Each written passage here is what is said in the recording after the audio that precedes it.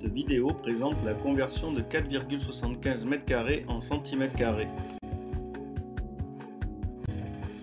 Une première méthode consiste à utiliser le tableau de conversion des mètres carrés.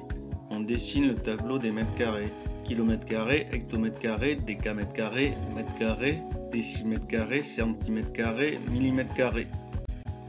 On n'oublie pas que pour chaque unité, il y a deux chiffres le chiffre des unités de 4,75 est 4. On écrit le chiffre des unités 4 dans la colonne la plus à droite des mètres carrés. On écrit également les autres chiffres dans le tableau.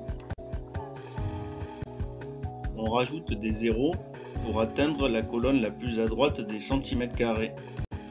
On conclut que 4,75 m2 est égal à 47 500 cm2. Notre méthode plus experte consiste à utiliser mentalement le tableau de conversion.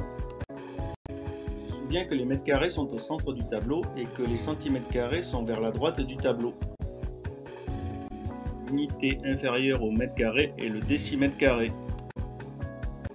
Et enfin l'unité inférieure au décimètre carré est le centimètre carré. Pour passer à une unité d'air inférieure, il faut multiplier par 100 passer des mètres carrés au décimètre carré, il faut multiplier par 100.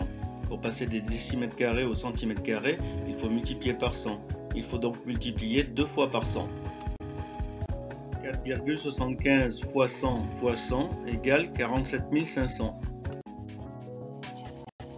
On conclut que 4,75 m2 est égal à 47 500 cm2.